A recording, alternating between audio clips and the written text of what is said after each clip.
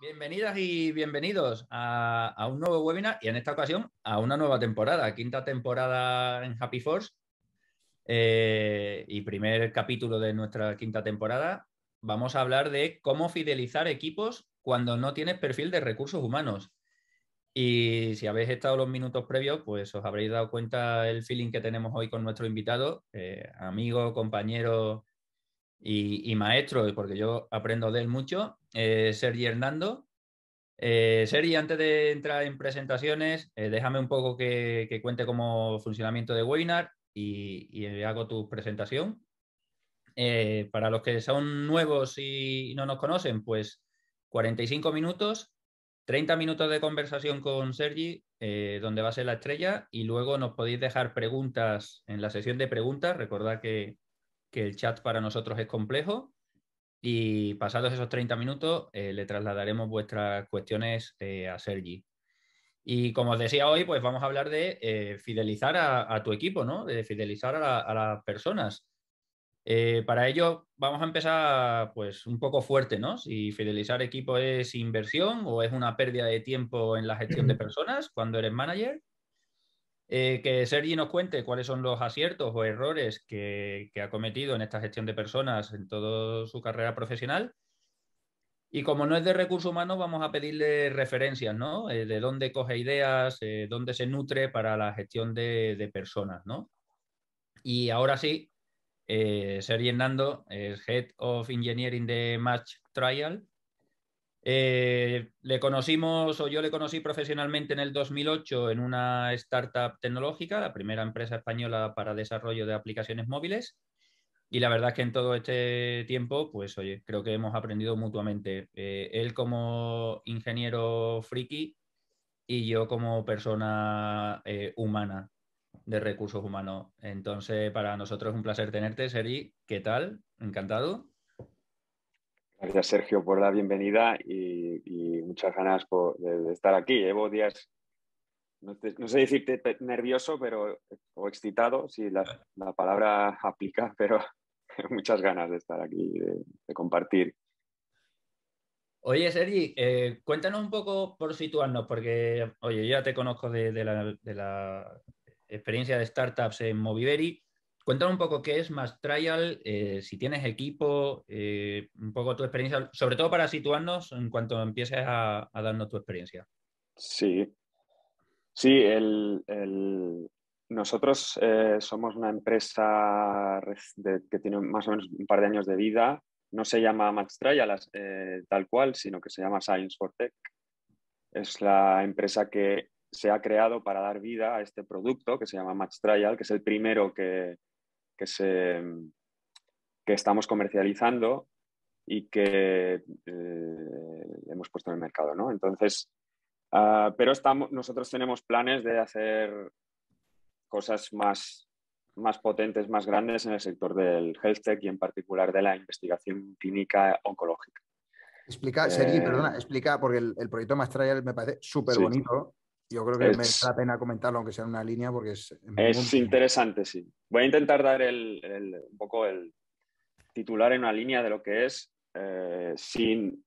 Ya sabéis que intentamos, para no ser demasiado puristas, pues a veces somos inexactos o ¿no? los, los que los técnicos nos pasa mucho, queremos ser muy concretos y nos liamos. Pero básicamente Match Trial lo digo con mis palabras, es una aplicación móvil que permite al enfermo de cáncer localizar un ensayo clínico que podría ayudarle a, mejorar en su enfermedad. No, garantizamos, evidentemente, que, haya una cura, pero como mínimo te da acceso a esos, de entre todos los, eh, los miles de ensayos clínicos que se realizan en tu país, pues localizar aquel que te, que te, que te puede ayudar. ¿no? Que si no de otra manera no podrías acceder a él a no ser que tu oncólogo, ¿no? Cuesta. cuesta, cuesta encontrar la información porque, eh, eh, claro, es una información médica con su terminología y bueno, ahí ayudamos un poco. Eh, el médico también participa, puede participar en este proceso. de alguna manera es el prescriptor de, la aplicación y quien te puede introducir a ella o tú mismo como paciente puedes descargarla y utilizarla. o como familiar incluso, porque te puedes encontrar en una situación en la que mm, la quimioterapia te deja hecho polvo, esto es bastante normal, y a lo mejor no tienes ni ganas ni, sensibilidad en los dedos para manejar una aplicación móvil. Entonces, bueno, pues tu pareja o un amigo o lo que sea te puede, puede actuar en tu, eh, por ti y, buscar la información allí también.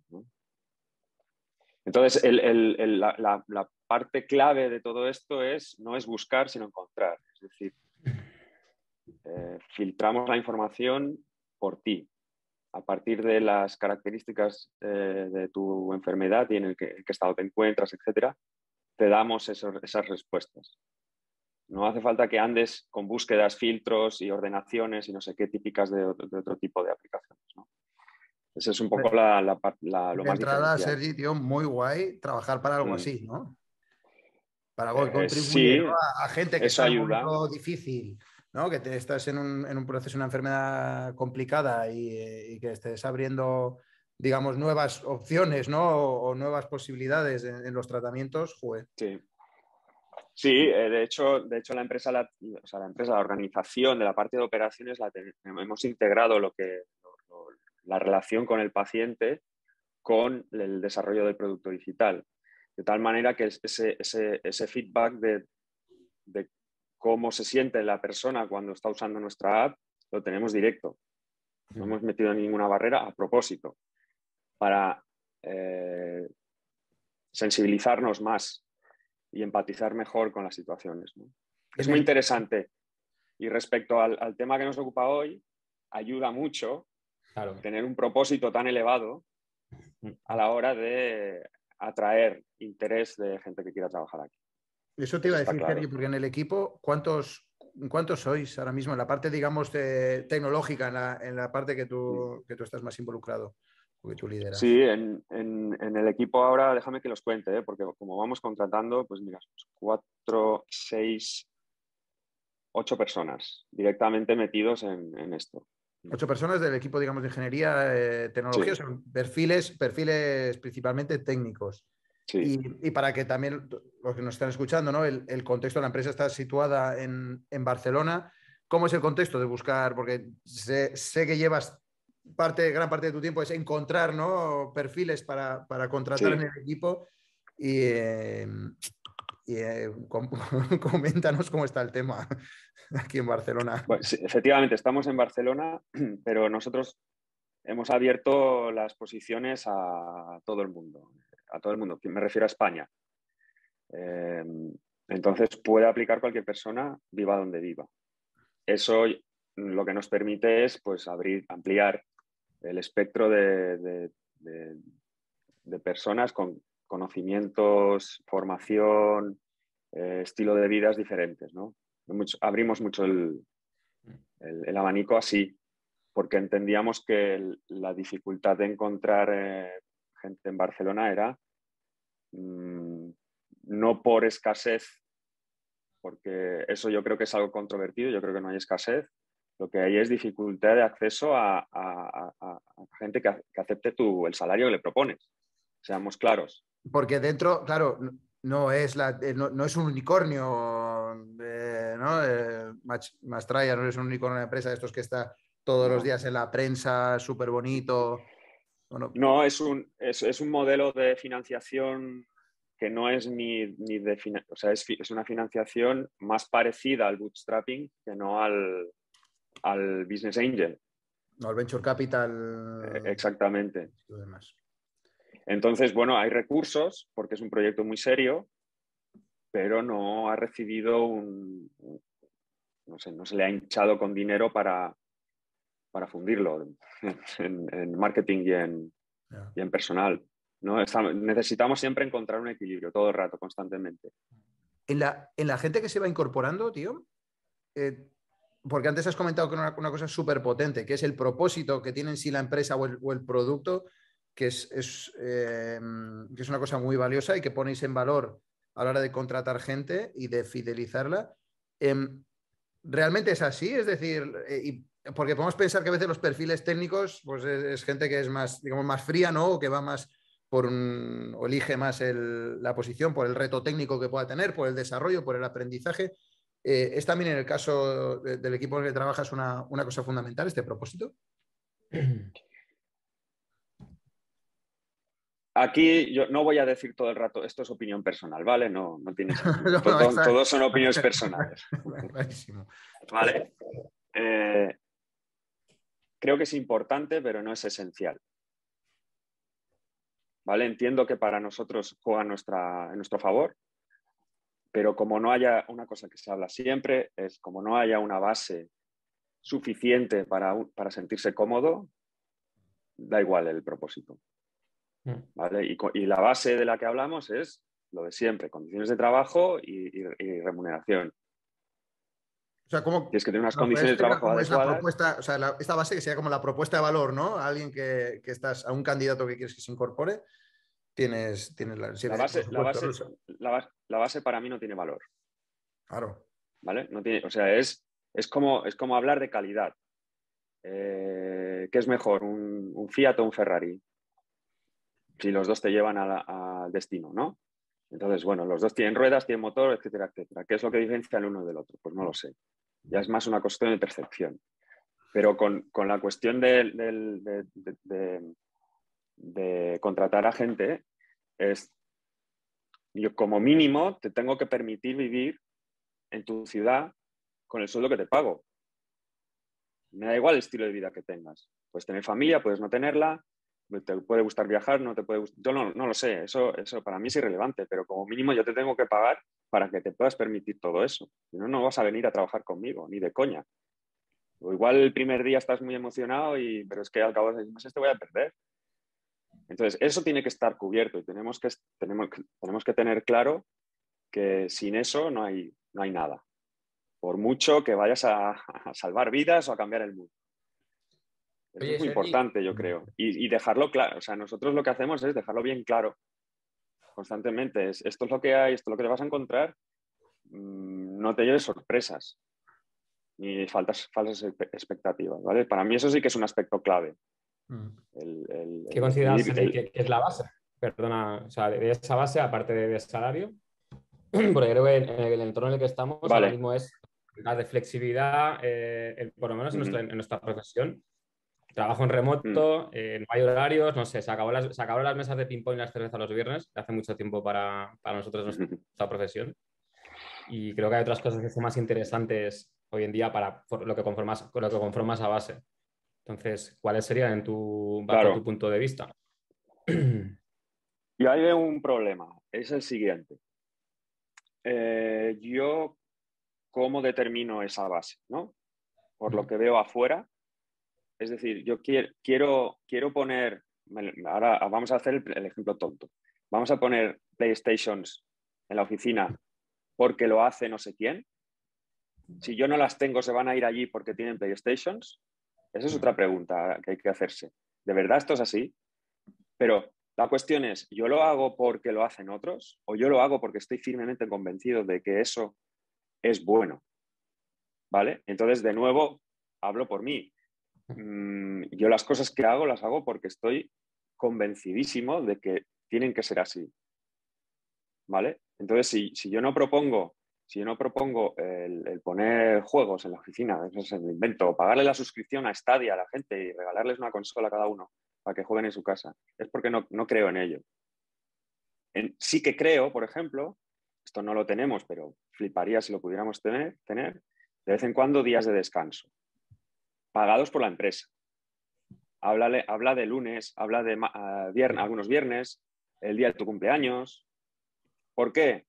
Porque porque salirte de tu rutina, contar con ese tiempo libre, que no es para ir a hacer la compra o para cuidar a tu hijo o para ir a lavar el coche, yo qué sé, que es tiempo que de repente, hostia, esto es para mí. Joder, ¿cómo mola? Pues yo creo en eso. Entonces, eso, es lo que yo quiero para mis equipos, ¿sabes? Pero, ¿quién lo hace? Claro que lo hay, hay, otros que lo hacen. Yo no me invento nada pero yo no lo, no lo quiero hacer porque lo tiene tal empresa o tal otra, o porque tenga miedo de que se vayan si yo no lo hago. Es porque yo creo en ello. Y ahí está. Yo creo que he estado reflexionando mucho en qué es lo que tengo que contar yo hoy que, que, que, aporte algo. Pues que para mí lo principal es, creérselo. Esas, esas, cosas que estás haciendo.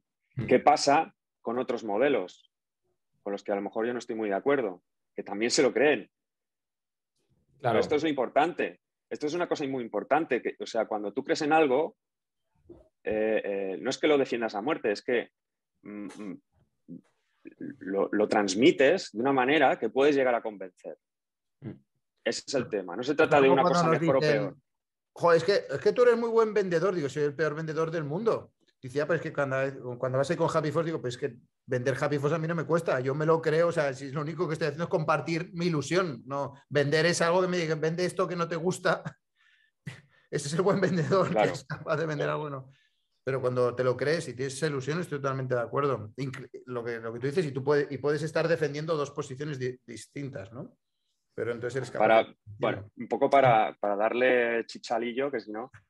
Eh, bueno, no, eh, eh, bueno, tío, es que no estáis respondiendo a nada. Te habrás dado cuenta que el que ha organizado el webinar soy yo y al que no dejan hablar es a mí, o sea que no te preocupes. Lo voy a poner en mute y yo, que me molestas. Échalo directamente ya. Nos quedamos nosotros. No, no, oye, no, me des bola. A mí me interesa una cosa, Sergi, ahora que me han dejado un espacio para. Y, aparte te llamé por esto eh, un poco queriendo también, ¿no? Y que me interesa es. Eh, no eres de recursos humanos, ¿vale? Eres un friki de, la tecnología, trabajas en un sector en el que no sé si hay escasez, pero es complicado eh, atraer talento. oye, como líder, para ti gestionar las personas es una inversión una pérdida de tiempo? ¿y, qué, haces? Porque yo esto me, encuentro que, hay líderes que, parece que es como una pérdida de tiempo. Porque yo, a mí me han contratado porque soy experto en marketing o porque soy experto en, no sé, en tecnología, en comercial, y gestionar personas no va, no va con, mi, con mi rol. Bueno, yo creo que ahí eso sí que lo enlazo con la parte de errores errores o equivocaciones o no sé, o cosas de las que te das cuenta con el tiempo, que yo he cometido mucho, y es creer que, que hay dos carreras o dos eh, escaleras. Digo escaleras a propósito. ¿eh? Una es la técnica y otra es la de las personas. ¿Para qué hacemos la gestión? ¿Para qué hacemos tecnología? Si no es para las personas. Entonces, un poco mi reflexión es, hmm. aquel que se encuentra en una situación en la que yo es que no quiero gestionar personas que a mí se me da muy mal, es, bueno, no pasa nada, relájate, háblalo con quien te ha puesto en esa posición, intenta cambiarla. Pero, pero no se trata de sí gestionar, no gestionar, o seguir con lo técnico, no seguir con lo técnico. Se trata de, de entender que esto va de relaciones entre personas y que mm, si, quieres hacer cada día mejor tu trabajo, buena parte de ello es relacionarte con la gente que te rodea. Y hablo con, otros equipos de trabajo, con, tus jefes, con cualquiera que se pase por la oficina y con los clientes, con los usuarios, etc. Entonces, para mí no es una dicotomía o no es un, tú que eres técnico, ¿cómo llevas esto? Tampoco lo he buscado. O sea, eh, o sea, yo hago las cosas que creo que tengo que hacer para hacer mejor cada día mi trabajo.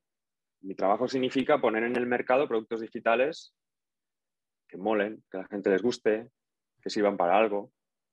Entonces, al final, lo que me pasa es que mm, por experiencia, ¿no? por años, mm, a lo mejor yo de, buenas a primeras veo un problema, ¿no? Pero en lugar de arreglarlo yo, lo que tengo que hacer es explicarle a otro que no lo ha visto nunca cómo, cómo lo haría. O darle pistas, o no sé. Eso también es, eso solo es un ejemplo, porque las maneras de ayudar a otros son muy diferentes. Depende del momento en el que se encuentre esa persona, depende de sus miedos, depende de sus ambiciones, depende de si tiene mucha experiencia o poca, depende de si está inseguro o no está inseguro, si es nuevo, si no lo sé. Eso es. muy interesante. un poco adaptarse. Lo hilo con una pregunta sobre lo que comenta, comentamos de fidelizar. Eh, a ver si es que en nuestra profesión en concreto somos muy de encasillar. Senior developer, junior developer, engineering manager y, limitamos o acotamos a la gente. Y eso lo hilo con el tema de retener. eh, tal y como interpreto que construyes las relaciones en un equipo, la gente nueva y tal, no, no, se limita, o sea, no las limitas simplemente a su rol, ¿no? O sea, el, el, contexto de las personas y luego su trabajo, o sea, lo que lo hacen en su día a día, pero mm, que entiendo que en el día a día de, Match Trial la forma de, vivir la gente que está ahí dentro del equipo es, es más amplia que ese, ese, rol, simplemente, ¿no? O sea, que el rol en que, el que se puede encasillar a la gente, ¿no? Mm, Sí, vamos a ver, nosotros lo que estamos, lo que estamos intentando promover es que una persona ah, hoy hace A, pero mañana puede hacer B. Mm. ¿Y qué, es lo que puede, qué es lo que hace un cambio así? Pues sus propios intereses personales, la situación, el contexto o bueno, la evolución de la empresa. Yo no, puedo, no podemos prometer a nadie el primer día que empieza, oye, tú vas a hacer esto toda la vida. A mí si me dijeran eso, me echaría un poco para atrás. Sí, Pero es que además no lo podemos hacer porque es que en seis meses puede cambiar la situación y, necesitemos que haga otra cosa. O esa persona mm, evoluciona de una manera tan rápida o tan, no sé, se pone las pilas tanto que, llega a su, a, su, a su techo rápidamente y hay que ayudarle a cambiar mm. de A a B, porque es que lo pide. Entonces no intentamos decir, mira, tú eres, y esto me quejo mucho, ¿eh? eh y perdón por el, por el, por el tecnicismo, pero yo veo muchas ofertas de trabajo que se busca Java Engineer. Java es un lenguaje de programación, ¿no? Entonces, yo me quejo de, bueno, tú buscas a un programador o a uno que sepa de Java. nosotros, en nuestro caso, queremos programadores. Claro. ¿Vale? ¿Saben de Java o no saben de Java? El otro día, de hecho, esto es una anécdota, pero para ejemplificar, me dijo eh, uno, de los, uno de los programadores que se dedica ahora mismo a la aplicación Android, me dijo, bueno, yo es que de Android y tal no, no tengo mucha experiencia. Y yo me quedé, o sea, yo seguí la conversación como normal, pero pensé, joder, le hemos fichado, no tenía ni idea el tío de esto o qué. Mm. Pero no me acordaba, es que me daba igual, porque yo lo primero que hice cuando le entrevisté fue pensar, este es un tío de puta madre quiero que esté con nosotros. Mm. Si sabe o no sabe de lo que le pedimos, pues ya lo aprenderá, no lo sé. Eso también es una máxima que he intentado seguir yo. Y, se lo, bueno, esto me, siento orgulloso de habérselo dicho a la cara, a todos ellos. Estáis aquí porque sois gente cojonuda, buena gente. Eso era lo que más me importaba a mí. Me sigue importando, evidentemente. Todo lo que no sabéis hacer, ya lo sabéis vosotros. Mm ya buscaremos la manera de que lo aprendamos entre todos. ¿no? Ya os ayudaré yo a encontrar los recursos necesarios para que podáis aprender. Lo que yo no sé, no te lo puedo enseñar, pero lo puedes aprender tú solo, ¿no? Claro. Lo que no voy a hacer es obligarte a hacer horas extra, que trabajes por las noches, que vayas a cursos los fines de semana. No, no, no. Yo te voy a ofrecer un espacio dentro de tu, de tu jornada para que puedas hacer todo esto. Hmm. Eso para mí también es esencial. Yo también creo en eso. En, el, en el, la, formación no es un gasto, no es una transacción. Que, yo estoy seguro que esto muchos lo piensan. Yo te doy para, recuperar, ¿no? Retorno de la, de la, inversión. Yo me gasto en ti 100 euros en un curso y espero que recupere 500 euros. No, no, majo, no. Es que el retorno no se puede medir. Yo creo que tienes que pensar cuál es el retorno que tú quieres. No yo, no, yo te doy este curso para que trabaje más rápido o para que sea, para que sea más productivo y sacarle más dinero a, las horas que te pago. Oye, yo contribuyo a tu formación y a tu desarrollo porque eso tiene un impacto en tu motivación brutal. Y ese regalo que ahí te lo llevas. Y, mientras estés conmigo, fabuloso. Y, si no, pues, pues mira, eso que sí, el, para mí también, o sea, yo intento aportar un poco mis, mis creencias, que es de lo que empecé hablando, ¿no? Eh, que, que, una persona se forme, que una persona descanse, es que lo voy a meter todo en el mismo saco.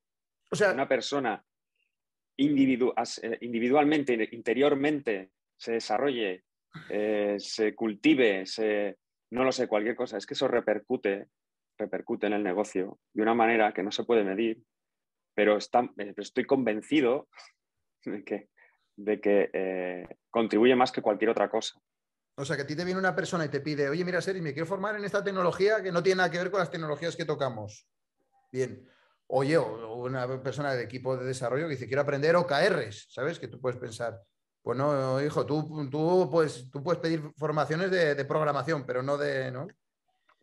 Sí, de hecho está pasando. Hay, hay gente que se quiere, de programadores que se quieren formar en User Experience.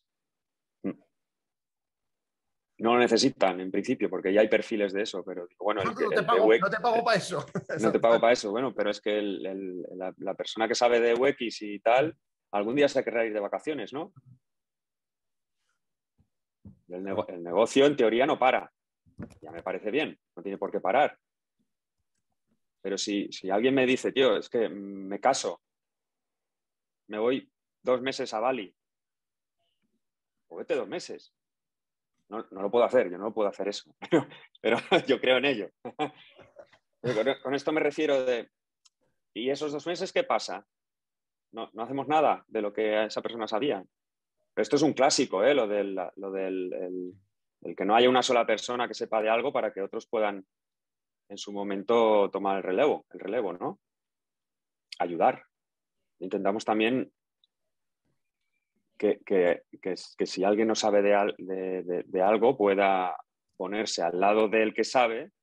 Nosotros en, tecnología le llamamos a eso per programming, que es programación por pares. O incluso hemos, hemos hecho alguna vez una sesión de todos juntos. Yo si, digo, si lo ve esto un manager de los de, de los de corbata, ¿qué estáis haciendo? Todos mirando, como en la obra, ¿no?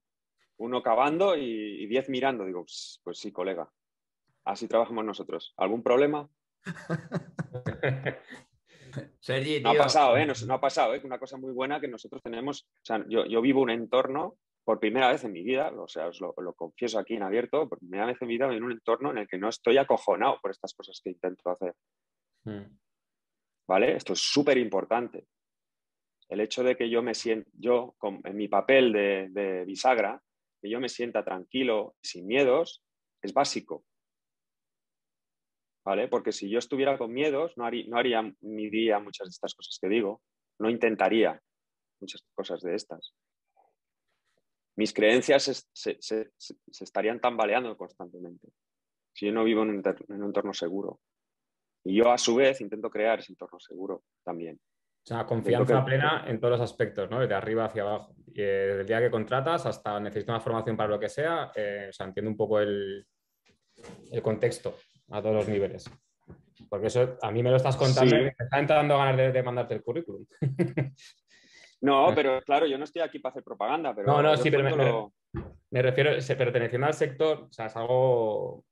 Eh, los, salarios son altos, eh, hay mucha oportunidad de trabajo mm. y la confianza es. y la libertad es un de los valores más fundamentales, aparte de lo que hablamos claro. Mm. Tú imagínate, ¿vale? Yo me pongo, me pongo en una situación en la que podemos pagar no tope de mercado, no, mm, por encima, 20% por encima tope de mercado. Y vamos así, a todo el mundo le pagamos esto. Es que sigo teniendo el mismo problema. Porque a, la, gente, ¿qué, coño le aporta que dentro de, dentro de seis meses alguien ofrece lo mismo? Que, entonces, ¿Mi papel cuál es? Que, que cuando se marche se vaya llorando, porque da pena salir de este entorno. Hmm. ¿Sabes? Pero bueno, tiene que, tiene que mirar por sus propios intereses, como es lógico. Y yo siempre digo, mientras estés aquí, se trata de darlo todo. Y cuando digo, lo, y siempre aclaro, cuando digo de darlo, darlo todo, no significa ir con ojeras y cansado y, quemarse. Darlo todo significa que de dentro te sale aportar todo el rato. Claro. Tener ganas todo el rato de hacer cosas, de cambiar cosas, de mejorar cosas. En el momento en el que a la gente le da igual, ya, ya los has perdido. Y hay ni sueldo, ni propósito, ni vamos a cambiar el mundo, ni venga keep pushing, ni mensajes que esto también, bueno, yo lanzo una crítica sin abierto. Los mensajes motivacionales de taza, a ver cuándo los decimos. Mm. Porque normalmente, o sea, lo peor que puede pasar, lo, que pasa normalmente es que caen en saco roto. Hacen así. Los de Mr. Wonderful, si quieres puedes. Y como estés, si quieres puedes. Venga, chaval, no, te desanimes. Y cuando, y cuando estás jodido, como te digan una de esas, claro. como mínimo ya esa tarde ya no trabaja bien, ni bien ni mal, no trabaja esa persona. Como, como les des un par de esas en malos momentos, las has perdido. Y ese es el tema, que está muy bonito todo esto yo que digo, que digo yo, pero cuando vienen torcidas, cuando resulta que no se cumplen objetivos, ¿qué haces? Pues sigues y sigues y sigues y sigues y te mantienes coherente a contar tus creencias. Y si no, no digas nada. Muy importante esto también para mí, ¿eh? cuando todo va bien es todo muy bonito y muy fácil de hablar. Ahora, cuando, vienen, cuando las cosas son difíciles, ¿eh? y, hay, y, hay, y hay confusión y hay, se cometen errores y se... Hostia. Pero cuando tú estás aquí, yo, bueno, hablo de mi papel, ¿eh? de nuevo, intento recuperar un poco el, hilo conductor, pero en mi papel, eh, de alguna forma, yo, hay que mantener la sonrisa, pero no lo quiero, no quiero frivolizar. No se trata de sonreír y ya está todo bien, todo bien. No, no, no. O sea, es que es como con los hijos. Es que aunque, aunque saque malas notas, tú les quieres igual, ¿no? Se supone. ¿No? Aunque te pinten la pared, les das el postre igual. No sé cómo explico. Entonces, pues con la gente que trabaja contigo lo mismo. Si se equivocan, ¿que les vas a coger eh, manía o qué? ¿Por qué?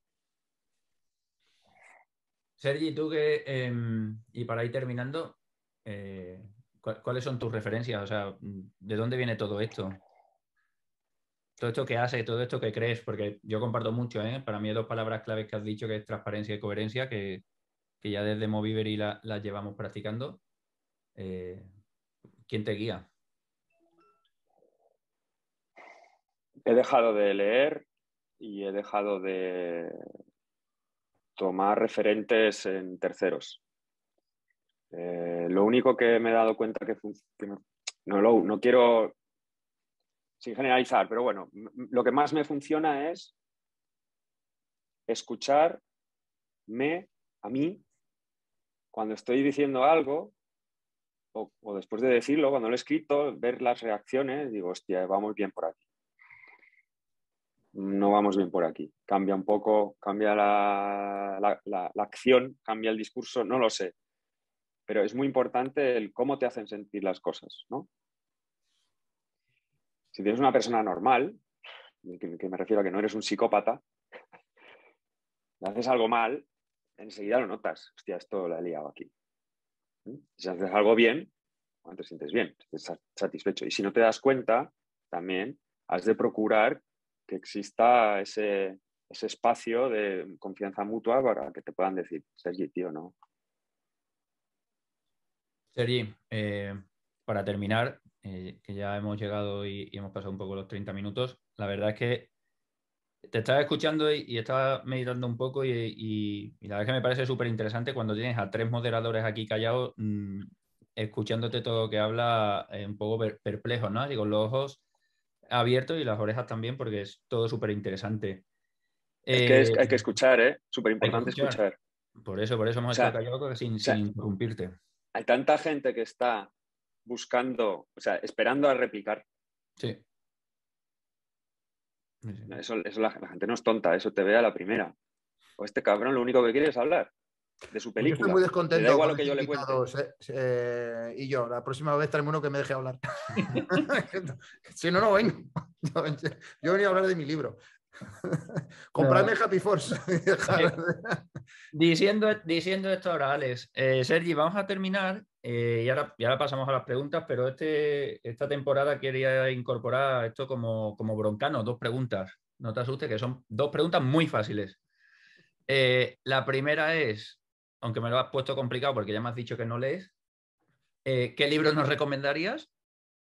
Y la segunda, libro o podcast, por si escuchas y no lees, nos puedes recomendar uno. Y a quién te gustaría que invitásemos a los webinars de Happy Force. Sí que leo, ¿eh? Lo que, lo que, no, lo, que no, busco, lo que no busco respuestas en los libros. Para luego. Hay que ser un poco original, ¿no? Como mínimo. ¿Qué libro mira, os, voy a recomendar un libro que para mí fue catártico, ¿se dice? Catársico, catártico. Provocó catarsis. Crianza incondicional de Alficón. Unconditional Parenting es el mm. título original. ¿Por qué? Porque, esto no me lo has preguntado, pero yo te digo el por qué. el management típicamente entendido en el contexto de empresa no se parece, no, es tan diferente, no es tan diferente del, ser padre. La relación que estableces con el resto de, personas del equipo o con tus hijos es muy similar. Forma de tratarles es muy similar. Y para mí eso fue bastante sorprendente, darme cuenta de esto. Brutal. Porque ni los, niños son niños, no son estúpidos, y, los mayores son mayores, no son estúpidos. Y ahí está la conexión. Y alguien a quien pudierais invitar sería alguien a que con estos meses ha tenido muy buena relación, le he cogido muchísimo cariño y creo que es alguien que puede aportar muchísimo también.